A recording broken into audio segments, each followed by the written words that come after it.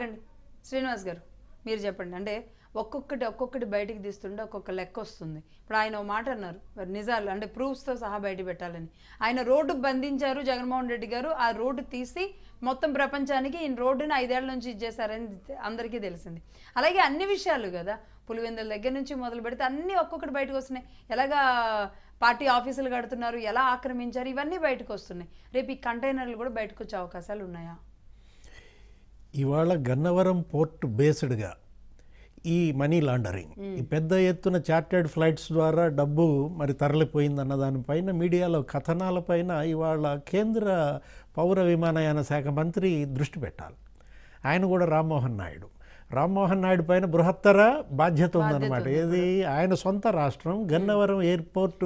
Data తీసుకోగలుగుతారా? అంటే అసలు ఎక్కడ కూడా లెక్కల్లో లేకుండా ఫ్లైట్లు వెళ్ళిపోయినాయి. గత ఐదేళ్ళలో కనీసం ఎవరు బుక్ చేసుకున్నారు ఎందుకు చేసుకున్నారు అనే డీటెయిల్స్ కూడా ఇవ్వకుండా వెళ్ళిపోయినాయి. అజ్ఞాత వ్యక్తుల పేరుతో బుకింగ్లు జరిగినాయి అనేది ఒకటి నడుస్తుంది. గత ఐదేళ్ళలో చార్టెడ్ ఫ్లైట్స్ ఎన్ని గన్నవరం నుంచి వెళ్ళాయి. ఆ చార్టెడ్ ఫ్లైట్స్ ఎవరి పేరు మీద బుక్ అయ్యాయి? ఇప్పుడు మనకు తెలిసి ఈ మీడియాలో కథనాలు ఏంటి ఢిల్లీలో ఉన్నటువంటి వైసీపీ నాయకుడే మారు పేర్లతో బుక్ చేశారన్న కథనాలు మనం చూసాం. ఆ ఎయిర్పోర్ట్ డైరెక్టర్ పైన తీవ్ర అభియోగాలు వస్తున్నాయి. ఈ airport development authority corporation chairman ఎవరైనా ఆయనకి వైసీపీకి ఉన్నటువంటి సంబంధాలు ఏంటి ఆ చైర్మన్కి సంబంధించిన ఏజెన్సీకే ఈ బ్యాగేజీ ఇన్స్పెక్షన్ ఇచ్చారని. అసలు ఏజెన్సీ ఎందుకు మార్చారు? గన్నవరం ఎయిర్పోర్ట్లో బ్యాగేజీ ఇన్స్పెక్షన్ ఏజెన్సీ ఎందుకు మార్చారు? ఆ ఏజెన్సీ మార్చడం వెనుక ఏం జరిగింది? అక్కడ సెక్యూరిటీ ఆఫీసర్ ఎవరు? ఆ సెక్యూరిటీ ఆఫీసర్ ఎవరి చెప్పు చేతల్లో పనిచేశారు? దేశంలో విమానాశ్రయాలన్నీ ఏమో కేంద్ర ప్రభుత్వ సెక్యూరిటీలో పనిచేస్తుంటే ఒక గన్నవరం విమానాశ్రయం మాత్రమే ఏపీ పోలీస్ కిందకి ఎందుకు తీసుకుంది?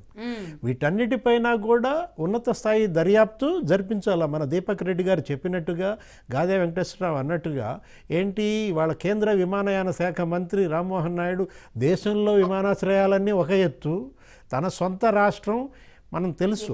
గతంలో ముఖ్యమంత్రి చంద్రబాబు కాకినాడ పోర్ట్ బేస్డ్గా ఏం జరిగింది? నాదెండ్ల మనోహర్ నిన్న కాకినాడ విజిట్ చేశారు. అక్కడ ఎనిమిది గోడౌన్లు తనిఖీ చేశారు. ఒక గ్రీన్ ఛానల్ లాగా ఎక్కడి నుంచి? చిత్తూరు నుంచి నీకు కాకినాడ దాకా.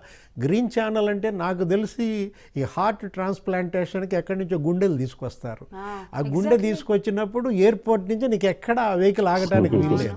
అట్లా గ్రీన్ ఛానల్ లాగా ఈ రేషన్ రైస్ మాఫియా. వాళ్ళ రైస్ ఆ లారీలను ఆపటానికి వీల్లేదన్నమాట ఏ చెక్ పోస్ట్లో కూడా. ఎవరు ఆ కింగ్ పిన్? కాకినాడలో ద్వారంపూడి చంద్రశేఖర్ రెడ్డి ఆ తర్వాత వాళ్ళ నాన్నకే సివిల్ సప్లైస్ కార్పొరేషన్ చైర్మన్ ఇవ్వటం ఏంటి? వాళ్ళకి మిల్లర్లు ఏంటి? వాళ్ళ తమ్ముడు మిల్లర్ల association president.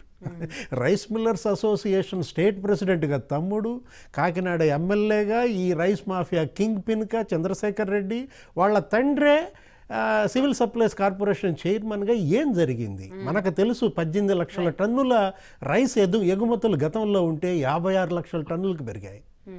అంటే నలభై లక్షల టన్నుల రైస్ ఎగుమతి జరిగినట్టు కాకినాడ పోర్టుగా. వీటన్నిటిపైన కూడా అటు ఆ పోర్టు ఈ గన్నవరం ఎయిర్పోర్ట్ పైన ఉన్నత స్థాయి దర్యాప్తులు జరిపితే తప్ప నిజాలు బయటికి రావు. ఓకే ఇది చాలా పెద్ద కార్యక్రమం. అంటే సెంట్రల్ మీరు అన్నట్లుగా ఎయిర్పోర్ట్ విభాగంతో కూడా కలుపుకొని చేయాల్సిన పని. వెంకటేశ్వరరావు గారు